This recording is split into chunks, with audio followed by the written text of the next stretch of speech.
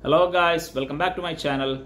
So in today's video, I'll be ranking my top 5 Xerjoff fragrances.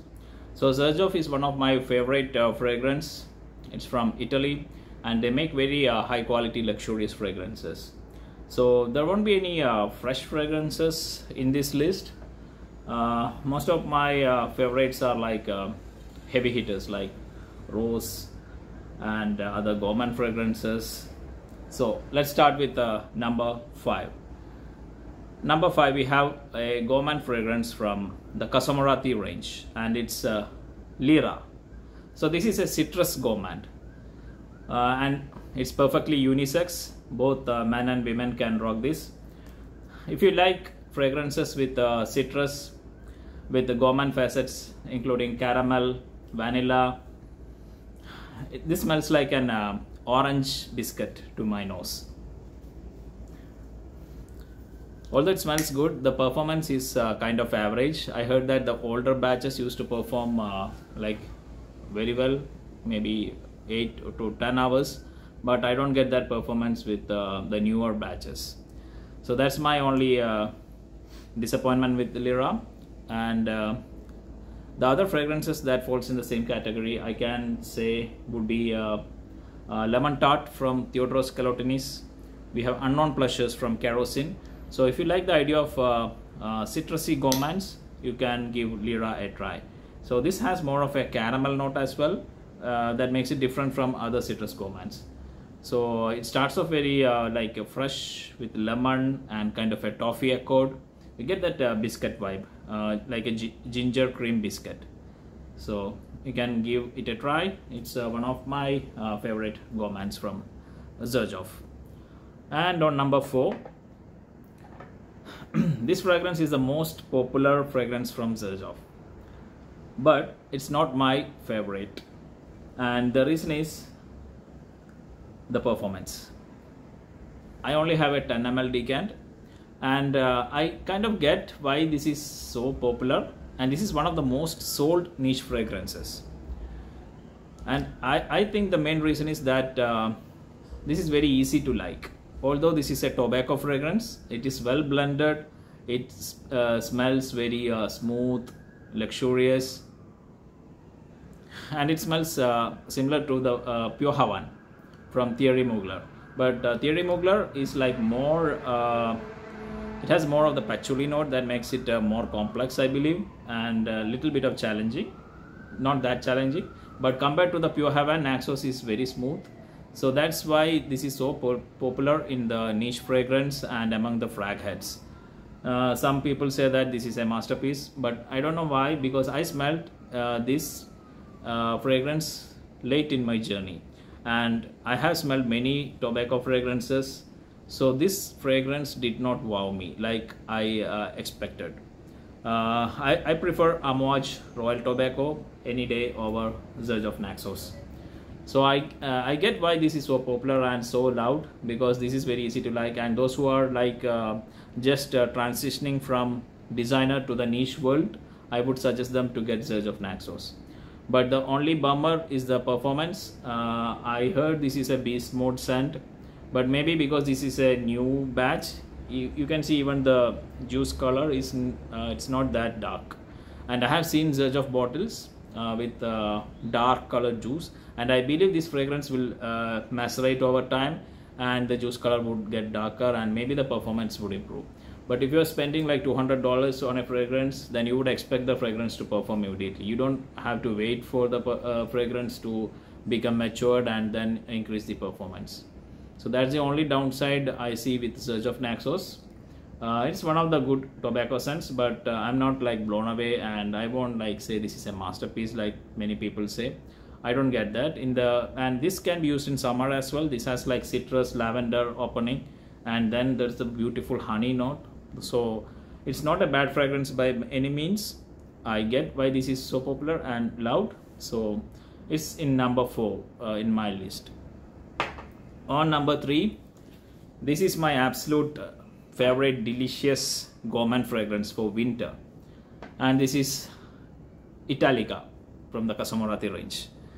And uh, this is also perfectly unisex. It has a beautiful uh, toffee note that makes it very delicious in the air and many people do the mistake of uh, spraying it on their arm sniffing it and in up close this doesn't smell like this has that almond note that kinds of uh, gives it a very uh, up close it, you can maybe smell a very green uh, kind of a smell that won't be pleasing to the nose. But don't smell this fragrance on your skin. In the air that's where this fragrance does this magic. Wow this is such an incredible delicious gourmand fragrance. It's one of my number one not one of my number one it's my absolute number one delicious gourmand fragrance. Italica i can't praise this enough. It's an absolute uh, delight. If you haven't tried this just uh, get a sample or a decant before going for before going for the full bottle. It's one of my absolute favorite. Amazing gourmand and on number two and number one these are my, the best of the best.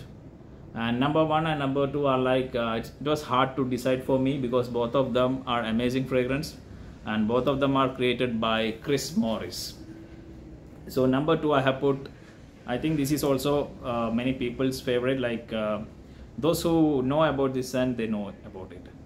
They absolutely love it love and cherish it. This is alexandria 2 from Xerjoff and this is uh, a rose and oud fragrance but it's unlike any other rose oud fragrance that you have smelled. It's very hard to describe. It has the middle eastern vibe but it's not the usual like uh, what you say uh, the jammy rose kind of a fragrance. That's not it this is very different. This has a very uh, dry uh, a dry accord like a dry vanilla rose oud smells very high class. Wow it's, it's powdery a bit of uh, powdery nuance is there. And the oud and the woody notes they are blended like it's not like other like fragrance like maybe you can say oud satin mood that and all i feel like i have smelled hundreds of fragrance like oud satin mood if you uh, if you have been in uh, middle east because i uh, lived in dubai for like three four years so there are like many middle eastern fragrances that do rose oud but if you want something that smell nothing like the roses that you have smelled before you should try uh, alexandria 2 from Xerjoff. one of the best offering from Xerjoff. amazing scent and number one is the rockstar fragrance and this is my latest acquisition and i just love it absolutely. This is uh, tony iommi monkey special named after the rock star tony iommi. So this fragrance is a patchouli bomb. So you have to like patchouli fragrance. This has notes of passion fruit leather vanilla sandalwood patchouli. Patchouli is one of the main key player in tony iommi.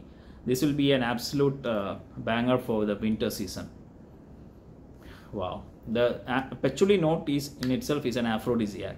So you should like that kind of fragrances and uh, that has that uh, bit of a dirty vibe but that's so sexy. And Tony Iommi is an absolute amazing masterpiece.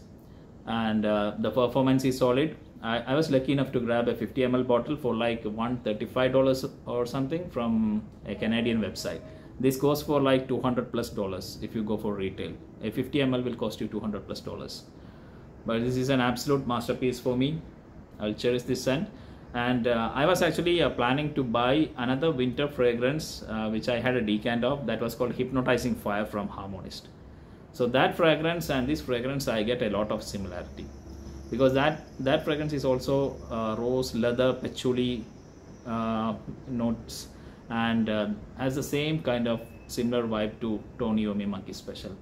So I don't need Hypnotizing Fire anymore. Now I have Tony Iommi. This is the bad boy leather jacket kind of fragrance it's a very amazing sexy fragrance from Xerjoff and the perfumer is the same as Alexandria 2 it's uh, from Chris Maurice so just try it out get a decant and if you like it you can go for the full bottle it's an am amazing absolutely amazing masterpiece from Xerjoff and my number one favorite Tony Monkey Special okay that's it guys and that's my ranking for my Xerjoff fragrances I haven't included many uh, like freshies uh, from Xerjoff like Nio, uh, Torino 21, Torino 22.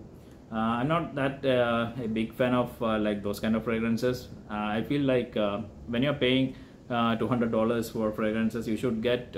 I usually buy for something that gives me like a like a complex kind of experience, not a simple mint or uh, freshy kind of experience. So I can't justify paying like $200 for uh, a, like a, a citrus fragrance. Uh, recently, I had liked uh, gin gin tonic from Micallef. That was also fantastic fragrance, but I can't justify paying like more, uh, more than 150 or dollars or so for a fresh fragrance, and that to last like five six hours. So these fragrances I have mentioned, uh, apart from Lira and Naxos, the rest three are total bangers. Naxos is also good, but I said I am not getting the kind of performance. If it had uh, the performance that people are talking about, it would have I would have like uh, purchased a bottle of Naxos. But right now I'm not going to. I'm happy with the decant. So that's it, guys. Uh, let me know what are your Xerjoff fragrance. And also I want to mention one more fragrance that is I tried and I loved it. It's 40 Knots. That's also very good fragrance and it has similarity to Christian Dior's Ambre Nuit, I believe. That that fragrance is also yeah like you can wear in summer and winter. It's very rich and luxurious fragrance. I don't own a bottle of that fragrance yet. So these are my top five Xerjoff and let me know your thoughts and your favorite Xerjoff fragrances. See you then. See you. Bye bye